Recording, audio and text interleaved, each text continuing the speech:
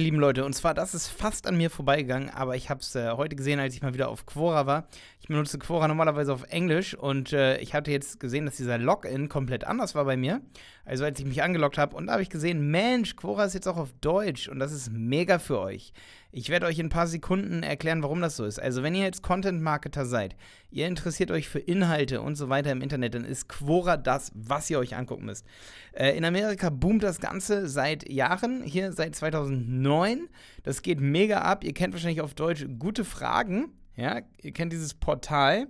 Ähm, hier, gute Fragen. Und das Ding ist aber, dass äh, Quora extrem ausgereift ist. Also viel, viel, viel besser als gutefragen.net.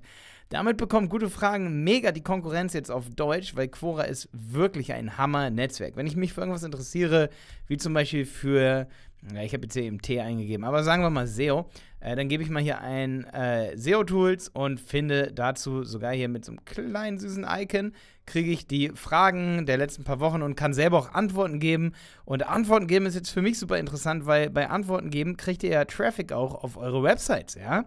Denkt da mal dran, wenn es hier irgendwas gibt, ist zum Beispiel im Bereich Fitness oder so, beantwortet Fragen und ihr bekommt regelmäßigen Traffic. Ganz wichtig. Selbst wenn ihr irgendwie es kann wirklich auch im gesundheitlichen Bereich sein. Wenn ihr irgendwie irgendeine Nische habt, sag ich mal, wo ihr euch gut auskennt, dann sucht immer regelmäßig jetzt auf Quora, weil ihr seid Early Adopter, ja. Wenn zum Beispiel euer Profil hier relativ schnell ganz gut gerankt wird, sage ich mal auch bei Quora, dann könnt ihr es schaffen, mit eurem Business hier auch wirklich viel Traffic, sage ich mal, zu äh, generieren. Jetzt steht zum Beispiel bei mir auch hier ähm, noch 000. Das wird sich sicherlich ändern, weil auf Deutsch werde ich sicherlich noch mehr mal Lust haben, dann auch darauf zu antworten, gerade wenn es dann noch so ein neues Netzwerk ist. Und ja, zum Beispiel vorhin habe ich was zum Thema E-Mail-Marketing auch gesehen. Super genial. Ihr seht, sogar das hier hat hier so ein kleines Icon. Und dann sehe ich, okay, was sind die wichtigsten Erfolgskriterien? Das fragt dann irgendwer und viele, viele Leute geben dann darauf Antworten. Und ihr könnt dann sozusagen die Standpunkte angucken und könnt sehen, wie oft wurde das bewertet. Wie oft wurde es aufgerufen und wie oft bewertet. Und ich könnte jetzt sagen, ah, hier war ein Tipp drin, den fand ich cool, könnt es positiv bewerten. Und ihr könnt natürlich auch selber jetzt sagen, alles klar, ich habe da eine Antwort drauf, ich antworte da jetzt drauf. Ähm, und man kann zum Beispiel ähm, naja, nicht Schleichwerbung machen, aber man kann natürlich, wenn man dann eine super qualitative Antwort liefert, die wirklich ausführlich ist, dann interessieren sich wirklich sehr viele Leute für dich und das ist natürlich super, super geil. Es ist natürlich auch gut, wenn ihr jetzt zum Beispiel sowieso schon einen Blog habt über beispielsweise Content Marketing, dann könnt ihr hier diese Antwort auf passende Frage einfach, äh, sag ich mal, reinkopieren. Ihr könnt natürlich auch auf euren Blog gehen und Passagen hier reinkopieren, denn ihr müsst ja nicht alles neu schreiben. Wenn ich jetzt zum Beispiel Jonas wäre eben und ich hätte einen T-Blog und ich würde hier sehen, es gibt hier Feeds zum Thema T, es gibt hier Fragen. Es gibt jetzt nur eine, weil wie gesagt, das, das Netzwerk hier kam erst im Juli raus.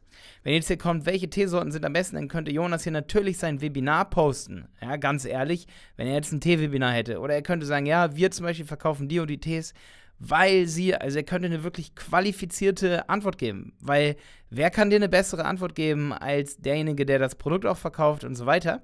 Derjenige macht natürlich Werbung für sich, aber er verkauft dann in dem Moment oder er verschenkt sein Know-how. Und dieses Know-how sozusagen, das ist dann auch keine Schleichwerbung, das habe ich vorhin so läppisch mal dahin gesagt. Es ist keine Schleichwerbung, das ist ehrliche Werbung für euch, aber ihr helft auch wirklich Leuten weiter. Also bitte nicht einfach posten, hier geht auf unsere Seite, hier könnt ihr es dann lesen.